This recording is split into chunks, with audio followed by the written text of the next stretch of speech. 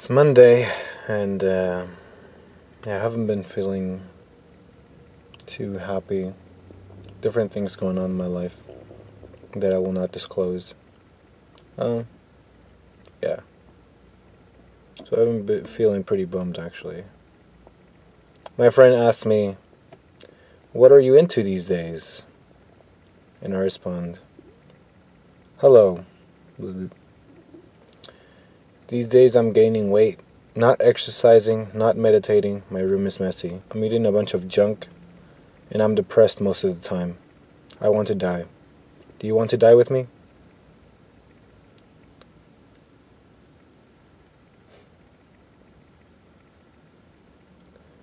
And she says, I'm very sad to hear that. What is things you want to die? I want to live with you, Jimmy. Why do you want to die? Can you tell me the reason? Then I say, Because I don't want to care. So it's true, I haven't been feeling well these days. I've been feeling pretty miserable.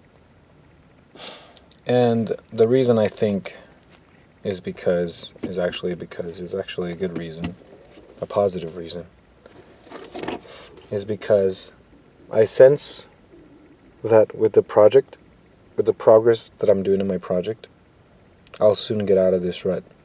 So I'm kind of just relaxing my morals because I know that it's gonna, things are going to change. Things are going to change for the better and possibly permanently. You see the smile? That is an actual smile. That's a genuine smile. So, this is just kind of like the last dark hour before the sunrise.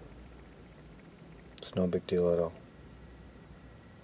I'm feeling pretty miserable and I'm being pretty lazy, but things are about to change. I just know it.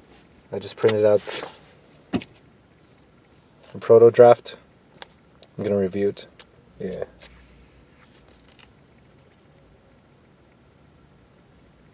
Looks good.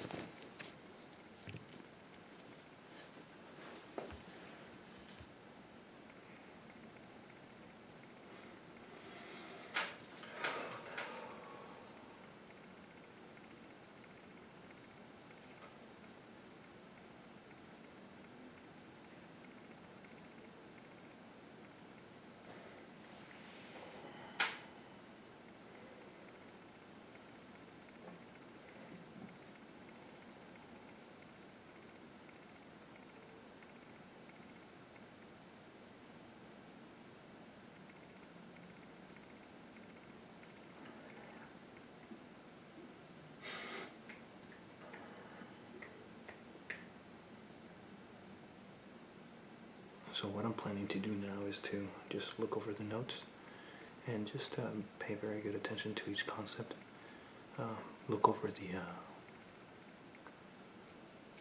the proto draft and uh, just pay attention to each of the concepts. Uh, see if there's anything that's um, not in its place. Because, uh, you know, when you do things too hastily, you put things in the wrong place sometimes, and just to put it there, just to get it over with and also see if there's any overlaps between concepts. So that's what I'm doing right now, just going over the notes. And as I'm going, and as I'm doing that, I'm making it everything more definite, more thorough, more tidy. So I'm also taking part in learning, learning each of the concepts all over again, in a more and making everything more definite.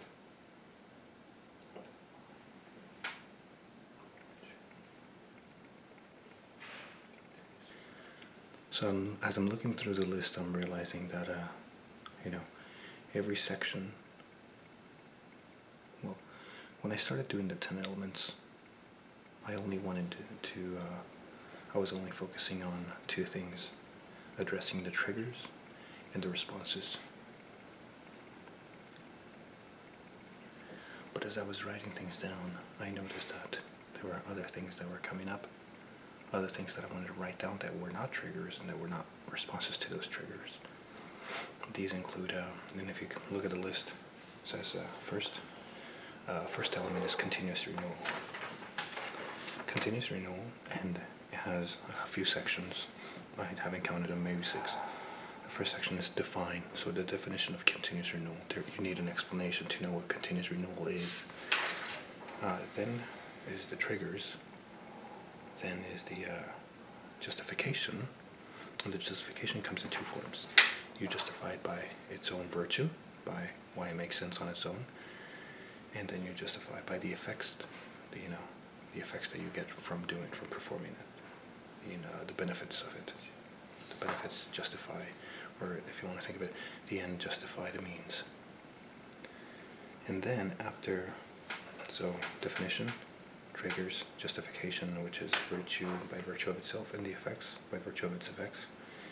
Then it's uh, procedure, and the procedure comes in continuous practice and trigger response. So those are how many? One, definition, triggers, justification of virtue and effect, and procedure, continuous practice, and triggers response. So there's six sections. And now I'm noticing, as I'm focusing on trigger response, I notice that justification also affects the pattern of what happens. But now there's the question where in the dynamic does justification fit? It's not just trigger response, justification is in there somewhere. So there's three possibilities there's trigger, justification, and then response. So you get the trigger, and then you have to justify the, the response to it. It's a possibility. Or you, uh, or there's trigger response, and there's the justification that overarches between those two. And that, or there's justification, and because of the justification, there's the trigger and a response. So I'm analyzing these three possibilities. Or, you know, if you want to, if you want to be, uh, if you want to exhaust all the possibilities, there could be trigger response and the justification at the end. After you respond to it, but um, I'm not sure if that makes too much sense. In uh, in my experience. At this point of the video, you might be wondering what the heck is going on. What's with all the uh, movements? Why am I behaving like this? Uh, as I'm looking through the notes, and uh, the thing is, is that uh, the, the, one of the reasons why I made this video is, is so that you can get uh, an idea of of the changes that that happen is because of the content that is included in in the uh, in my proto draft. Um, one of the reasons why I waited to go over the notes until I had a, a video of it was because I knew that there was going to be a change, and the change is is supposed to be a drastic. It's supposed to be a direct change. Um, um, and really, what what is reflecting is that as as as you are beginning to get new ideas, as you are beginning to understand things, there is an emotional change. There's a change in mentality. You know, with new knowledge comes a new mentality, and with the new mentality comes a new behavior, and you see the world differently. Basically, what that, that's that's the change that is going on in this video. Um, of course, uh, it, this can be this can be very easily understood. Um, you know, if, if somebody says uh, something inspirational, if, if you hear an inspirational quote that makes you feel better, that makes you feel elated, it makes you feel ecstatic, or if some if, or somebody says something that makes you feel terrible, you know, it's these ideas that affect how you feel and affect the way you behave and affect the way you are. As I'm going through the project, the reason why these movements are so wild are just first of all because I'm alone and because you know I don't really mind um, acting you know moving around like this when when nobody can see me so there's the lack of inhibition going on there um, but also because you know the, the, the whole purpose of the project is to is to be able to get all these ideas and to condense them into one. Um, and I will explain that into another video of how of how usually when we read a book we you know when we read some uh, devotional or or something that uh, something that is supposed to inspire us. We get random ideas and they affect us randomly but then when we walk out of church it, or when we put the book down we forget everything. Right the purpose of this project is to be is to have that level of inspiration at all times um, and to to just live in that inspiration live in that level of inspiration. Yeah, that's that's that was one of the purposes of this video so you could see the change from me uh, from me being, being miserable uh, to to and, and and and how when I just by going over the notes the the project is not even complete but just by going over the notes just by reminding myself of the system there's already there's already a change beginning to happen within my emotional self, within my state of mind. And that is the whole purpose of the project. Uh, but the project, uh, once it's complete, what it's supposed to do is it's a, I'm supposed to be able to hold on to this inspiration continuously and maybe even permanently if everything is set up the right way. If all the parameters and if all the limits are set up the right way, I'm supposed to be able to to be inspired continuously and permanently throughout my life to have this inspiration not only be a practice, but have it be a part of my identity. That is the purpose of this system.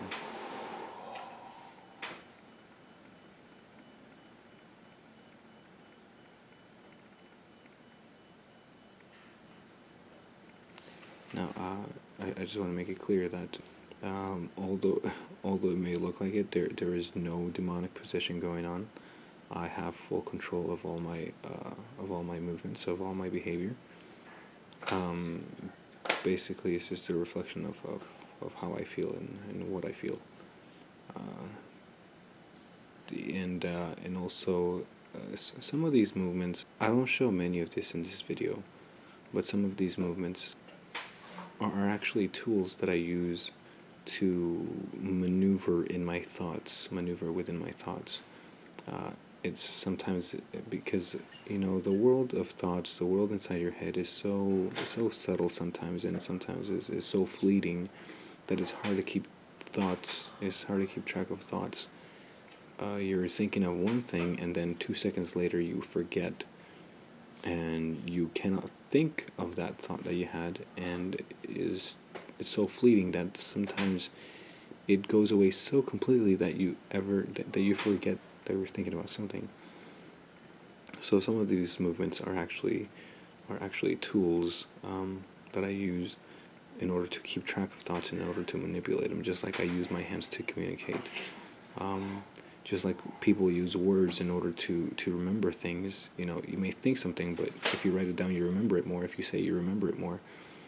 I kind of do the same thing, but some of these thoughts don't have words. They're just like kind of patterns inside one's head and so, the best thing that you can do, the most immediate thing, and the fastest way to keep track of those thoughts is by by acting them out.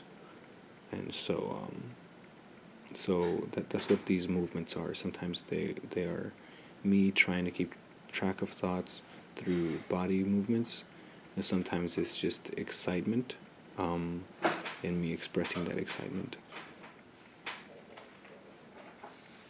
So. Uh the one that I'm analyzing first is the justification trigger response. This one makes sense because uh, the trigger kind of needs a background, uh, set definition. Uh, the word trigger means that is, uh, in, in, its definition, it's a backdrop. It has a backdrop of explanation, something that's being triggered. When you have the word trigger, what's you have to ask yourself what is being triggered, and what identifies the trigger.